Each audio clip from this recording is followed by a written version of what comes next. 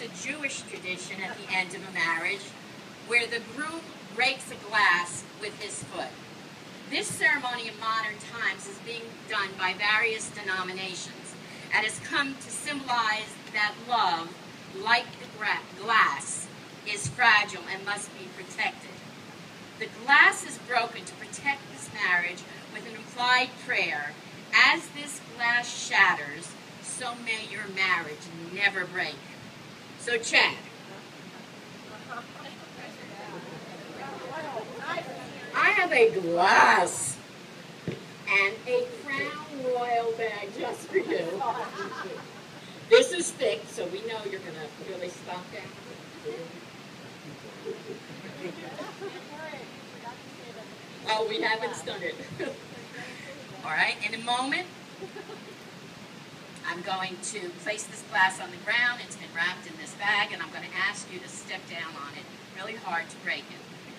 There are several reasons why it's customary for glass to be broken at the conclusion of a wedding ceremony. Symbolically, the breaking of the glass has also come to symbolize the shattering of the old and the beginning of the new. It's a letting go of the past and looking towards the future.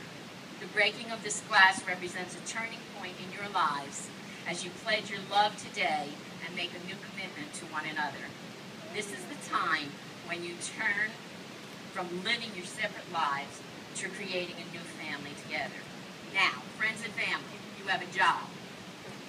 Once Chad breaks this glass and you hear it, because we've got a nice big one for you to hear, your job is to shout the Jewish word Mazel Tov, really loud. And if that bothers you, you can say congratulations, but I'd rather hear Mazel Tov. Are you ready? There you go, Chad. Ready? Ready?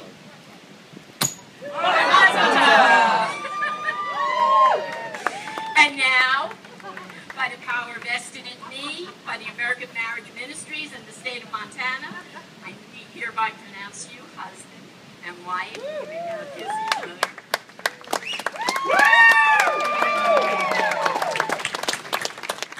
And now you'll face your friends and family, ladies and gentlemen. May I present to